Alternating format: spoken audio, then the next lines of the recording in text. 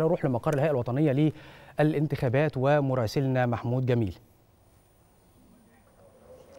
أهلا بك شاذلي وبكل السادة المشاهدين لازلنا نتابع معكم من داخل غرفة عمليات الهيئة الوطنية للانتخابات سير العملية الانتخابية ومتابعة أيضا الهيئة لكل الإجراءات الانتخابية في المحافظات المختلفة. غرفة العمليات التي نتواجد بها يترأسها المستشار أحمد بن داري مدير الجهاز التنفيذي للهيئة الوطنية للانتخابات.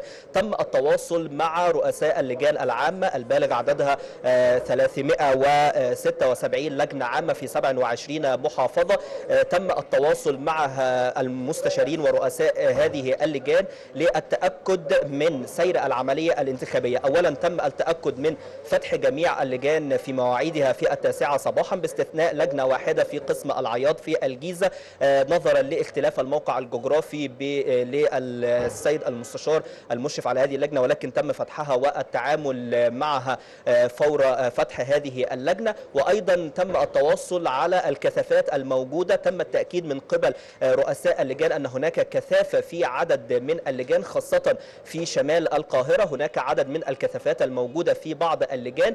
تم التواصل أيضا والتأكيد والتنسيق مع مديريات الأمن فيما يتعلق بتنظيم وتنسيق هذه الأعداد الكثيفة. وأكد المستشار أحمد بن داري أيضا على تقديم كل الدعم للجان المختلفة التي تشهد مزيد من الكثافات وأيضا تقديم كل الدعم للسادة رؤساء اللجان في المحافظات المختلفة. تم التأكيد أيضا على أن هناك كثافة في لجان الوافدين وتحديدا نتحدث عن قسم أول شرم الشيخ. هذه المحافظة التي تشهد عدد كبير من الوافدين ومن المحافظات المختلفة. هناك كثافة في لجان الوافدين في شرم الشيخ. نتحدث عن أن جنوب سيناء بها 15 لجنة من الوافدين من إجمالي 361 لجنة للوافدين على مستوى المحافظات. فهذه اللجان أيضا بها كثافة كبيرة.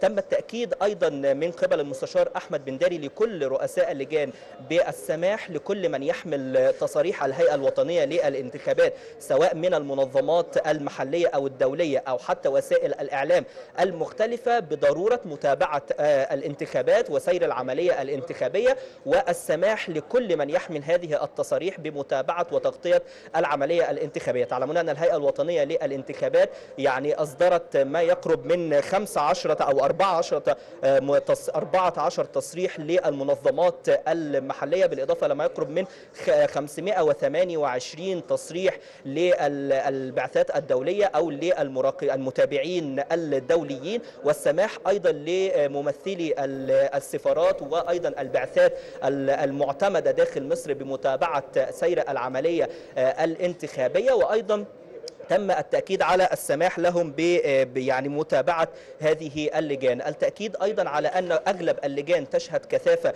في اليوم الأول وحتى هذه الساعة وحتى هذه اللحظات والهيئة الوطنية تتابع على مدار الساعة كل ما هو جديد وتتواصل مع رؤساء اللجان العامة لتذليل أي عقبات أمام الناخبين أو حتى تقديم مزيد من الدعم أو إذا كان هناك أي مشكلة يتم حلها. لكن حتى الآن لم يتم رصد أي مشاكل تعوق سير العملية الانتخابية وأيضا هناك عمل كما ترون من خلفي عدد كبير من أعضاء الهيئة الوطنية يتابعون من خلال الأجهزة الإلكترونية ومن خلال أيضا الفيديو كونفرنس والتواصل مع كل رؤساء اللجان في المحافظات المختلفة للوقوف على سير العملية الانتخابية إذا بشكل عام هناك كثافة في أغلب اللجان وفي أغلب المحافظات هناك م. كثافة أيضا على لجان الوافدين وأيضا يتم تقديم كل الدعم والتسهيلات لرؤساء اللجان المختلفة لتتم عملية عظيم يا محمود هنكون معاك طبعا لحظه بلحظة من داخل غرفة عمليات الهيئة الوطنية للانتخابات واللي شفناه بيؤكد إن الخطط موضوعة وأيضا الخطط البديلة